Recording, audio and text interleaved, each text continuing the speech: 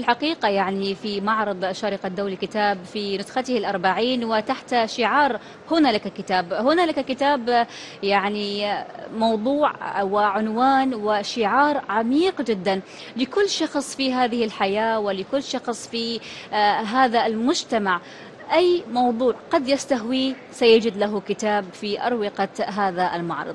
لذلك كما كان في اللقاء السابق مع زميل وديع كانت هناك يعني لقاء مع الكاتبة حول التنمية البشرية والتنمية الذاتية وأهمية ترتيب الحياة والابتعاد عن الروتين الممل والمعهود.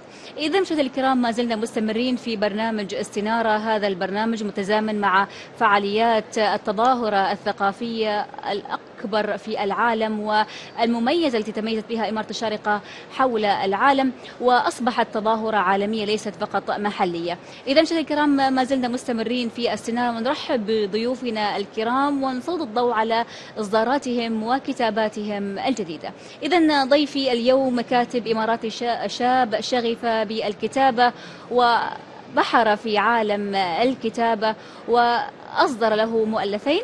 ونذهب إلى الكاتب الطموح إبراهيم الحمادي. مساء الخير إبراهيم. مساء النور. أهلا وسهلا.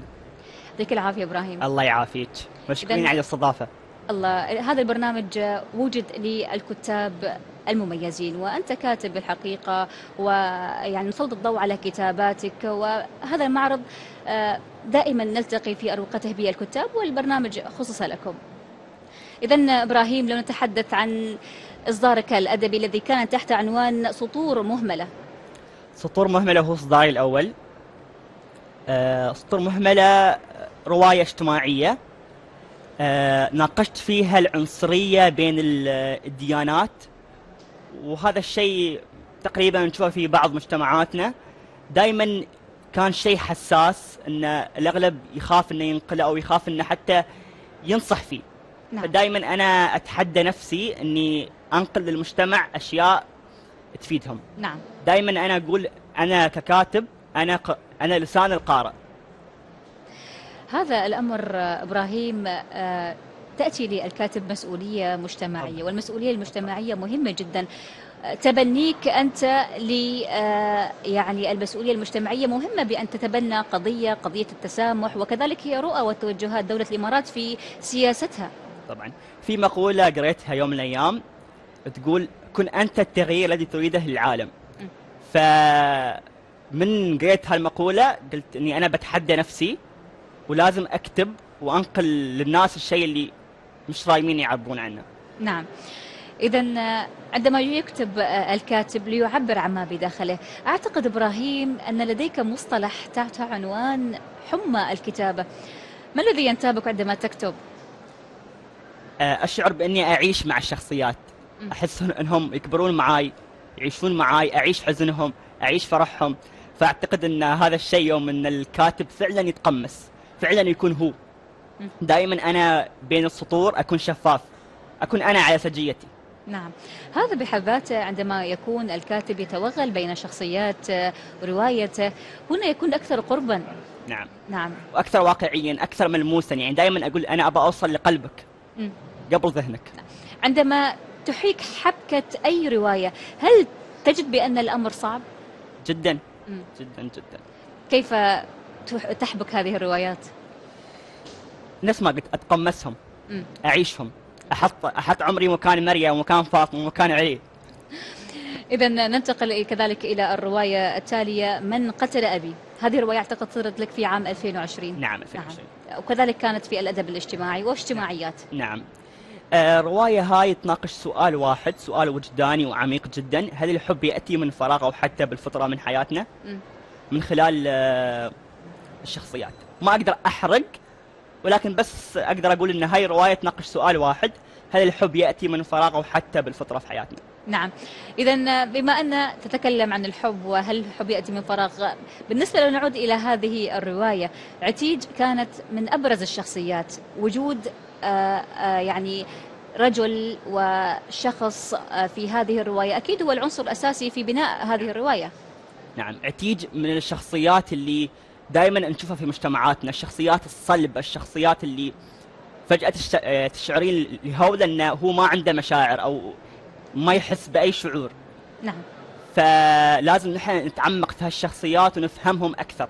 يا ترى ليش البني آدم يصير جامد ويصير آه، كأنه جماد. يعني هالبني آدم ما له قلب. يمكن من صعوبات الحياة من المواقف اللي تعرض لها هذا الشخص. ويمكن أشياء عميقة أكثر. نعم. ف- إذا تشوقنا للرواية نعم. إبراهيم. إذا إبراهيم حاولت في كل رواياتك آه، آه، الصادرة في السابق بأن تكون كتابتك سلسة وأن تكتب باللغة العربية الفصيحة. نتحدث عن هذا الأسلوب في الكتابة. آه، لغتنا جدا عميقة. لغتنا لازم نحن نتم آه، نتداولها ونتعلمها. فدائما أسعى أني أكتب باللغة العربية الفصحى بالطريقة السلسة نفس ما قلت أني أوصل لقلب القارئ. وبنفس الوقت لازم نحن ننمي لغتنا. نحن هنا موجودين عشان نحارب باسم اللغة. نعم. بما أن ذكرت يجب أن نحارب باسم اللغة كيف لنا أن ننمي لغتنا العربية؟ بالقراءة. من قراءة بالقراءة بالاستطلاع بإني أحاول أتداولها حتى بالكلام. يعني تلاقين أغلب شباب هالوقت دائما بالمصطلحات الإنجليزية وما أعرف شو. فلازم نحن نعيد نظر بموضوع لغتنا لغتنا جدا مهمة. نعم. إذا المعروف عن إبراهيم انه كتوم في الكتابة، كذلك يعني شخصيتك كثير حساسة وهذا ما رأيناه من خلال مؤلفاتك إبراهيم الحمادي، لكن آه، التعبير مدى أهميته في الورق؟ آه، التعبير يرمم الخراب اللي فينا يرمم الشتات يرمم هالكتمان. فدائما أقول البني آدم يوم يصير بينه يعني يصير مع الورق يكون وايد شفاف. فدائما أسعوا للتعبير. عبروا عن ما في خواطركم. نعم. إذا إبراهيم أتمنى لك التوفيق في مجال وعالم الكتابة ومعرض الشارقة الدولي للكتاب وجد من أجلكم أنتم الكتاب أبناء الإمارات وكذلك من الكتاب في دولة الإمارات العربية المتحدة وكذلك خارج حدود دولة الإمارات. كل الشكر كلمة أخيرة لك. أه حاب اشكركم على الاستضافه هاي وأقول أه نحن هنا في الشارقه نتحدى العالم ونتحدى الوباء والعالم يقرأ من الشارقة.